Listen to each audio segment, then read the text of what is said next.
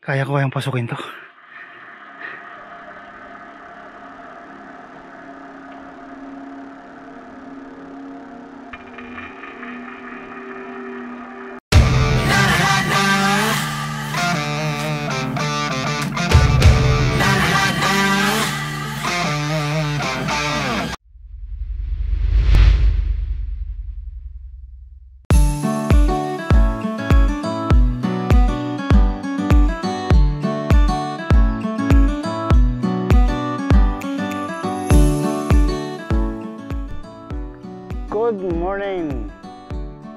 Muli si Jeff T. Nagsasabing isang magandang umaga sa inyo. Sa araw nito, ako ay pupunta sa Surgulan Tunnel. Yung pinakita ko sa inyo nung nakaraan, dun sa may marker na gusto kong puntahan yung tunnel na yon. Dito na ngayon, ngayong araw na to ay doon ako pupunta. Kaya samahan nyo ako. Kaya meron pa akong 1 hour 53 minutes at 11.9 miles na tatakbuhin. Tara, tuloy natin ang pagpadyak.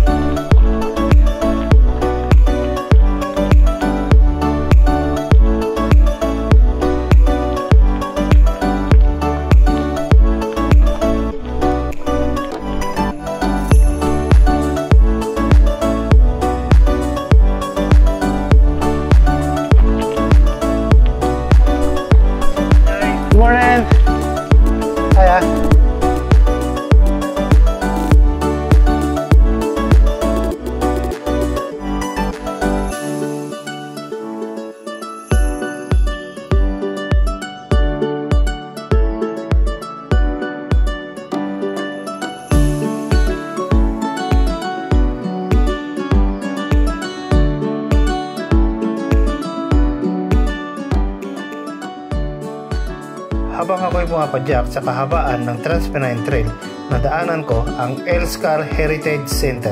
Ang Elscar Heritage Center ay isang buhay na sentro ng kasaysayan sa Elscar, Barnsley, England.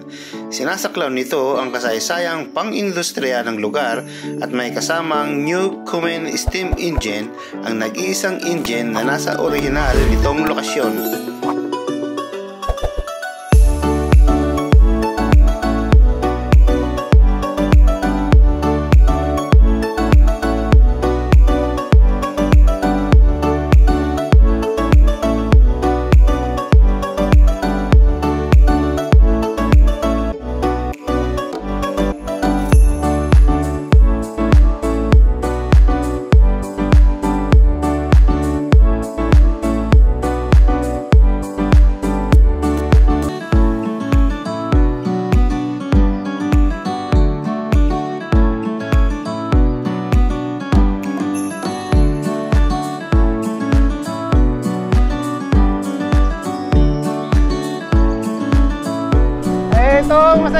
Malusog! Hay! Sarap! Woohoo! Sinasabi ng mapa ay kakanan ako. So, kakanan ako dito. Yan ako kakanan. Ah! Rough na naman na paahon. Now take a sharp right. Sharp right. Pala. Paahon dito.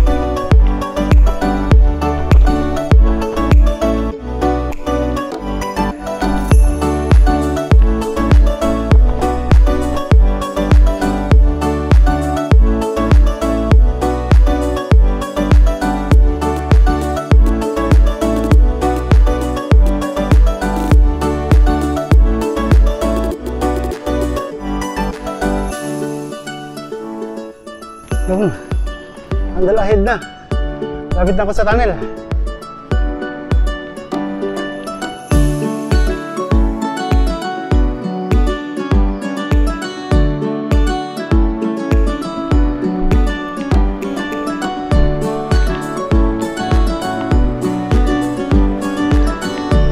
Nakikita ko ang tunnel.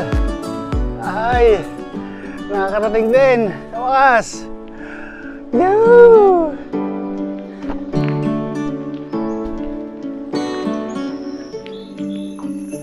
Good morning.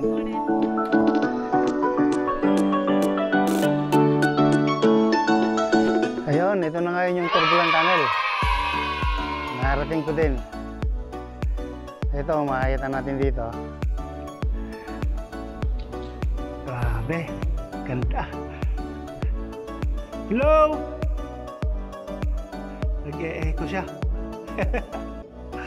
nice! Nakatuwa. Hello, Justy!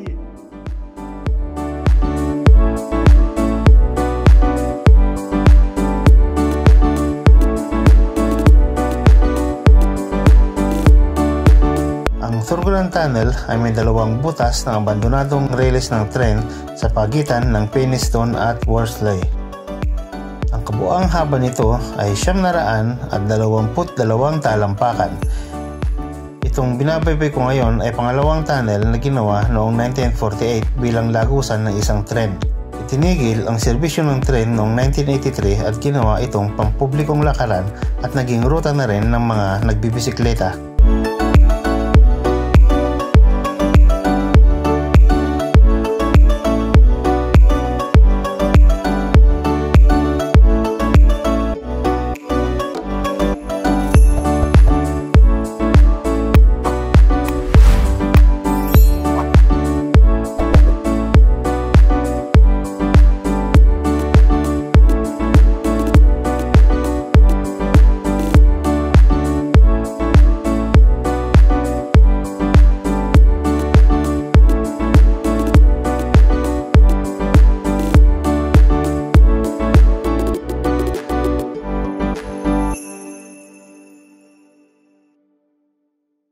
Ito naman yung original na tunnel. Ang unang butas na may dalawang release ng tren. Ito ay binuksan noong 1845 sa Sheffield, Aston Under Lane at Manchester Railway sa pagitan ng Manchester Store at Sheffield. Makikita ang ito ay sarado na.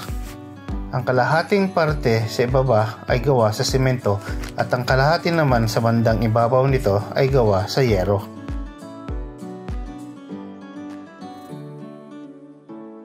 Ito ay sa kabilang lagusan ng tunnel. Tinampakan ito ng lupa para tuluyan ng isara pero hindi nagawang saraduhan ang buong lagusan kaya makikita ang may maliit pang butas ito. Kaya ko kayang pasukin to.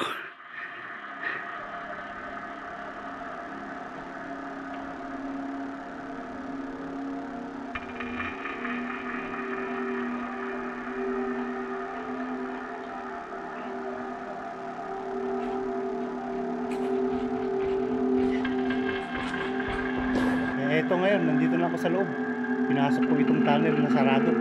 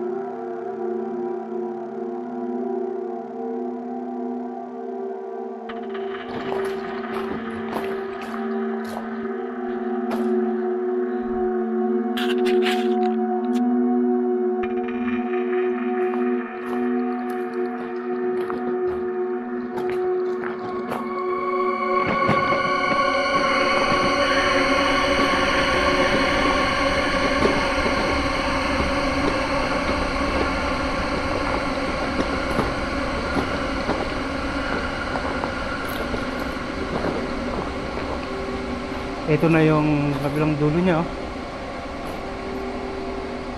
Blinak nila ng concrete. Tapos ano dyan sa taas yung parang yero. Tapos merong lagusan doon. Yan siguro pumapasok din sa iba.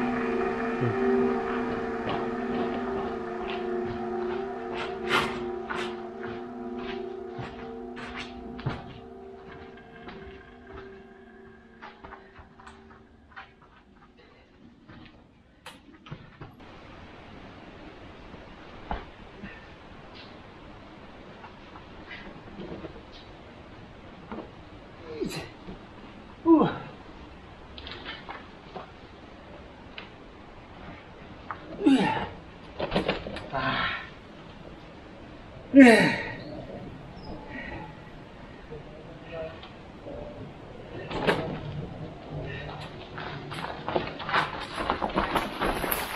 yung old tunnel. Yan yung new tunnel.